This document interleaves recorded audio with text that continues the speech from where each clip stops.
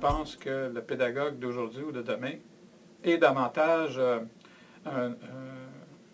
comment dire, un guide à travers l'ensemble des ressources qui existent. Euh, les étudiants ont énormément de ressources à leur disposition. Souvent, ils l'utilisent mal parce qu'ils ne savent pas s'orienter dans toute la masse d'informations. Et je pense qu'avec un cours euh, hybride, avec un retour en classe et avec des indications très précises sur quelles ressources aller consulter en ligne,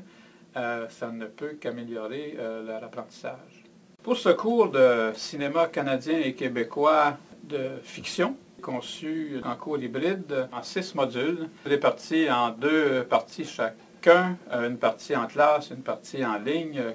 des parties alternants, donc une semaine en classe et une semaine en ligne. Chacun des modules correspond à un film en particulier, euh, ou à une période particulière du cinéma de fiction au Canada et au Québec. Une des difficultés avec les cours de cinéma, c'est de devoir euh, à la fois présenter des films euh, au complet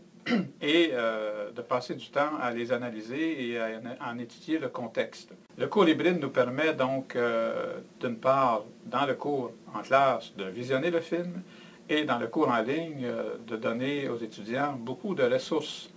euh, qu'ils peuvent euh, visionner, soit avant ou après le visionnement du film en question, pour comprendre euh, la filmographie ou la philosophie particulière d'un cinéaste, d'une période donnée de production de cinéma au Canada ou au Québec,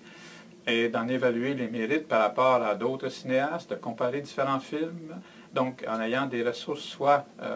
des ressources Internet, d'autres films ou euh, d'extraits de films de la même période ou encore d'analyses critiques sur des sites euh, spécialisés euh, en cinéma. En termes de lien entre les outils et les objectifs pédagogiques, donc les objectifs pédagogiques, les, objectifs d'apprentissage, comme on dit très bien, les objectifs d'apprentissage, donc sont conçus en fonction d'une progression allant de la simple connaissance de ce qui existe en passant par une maîtrise plus approfondie pour déboucher sur des aspects plus créatifs ou plus analytiques. Dans les premiers modules, euh, les outils qui sont utilisés sont essentiellement donc euh, le journal, comme je disais, enfin le journal euh, qui est la réponse des étudiants à des questions qui sont posées en fonction de chacun des exercices qui sont proposés.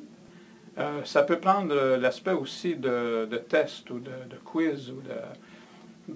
questions-réponses, euh, vrai ou faux, choix multiples. Donc ça devient d'autant plus simple à la correction, à la fois pour le prof et pour l'étudiant de, réaliser, pour le prof de le corriger, vérifiant euh, très précisément si les consignes ont été respectées dans l'élaboration du travail. Moi, je n'enseignerai plus de la même façon maintenant, c'est certain. Je ne me perçois pas aller en salle de classe sans le support d'un site web et, euh,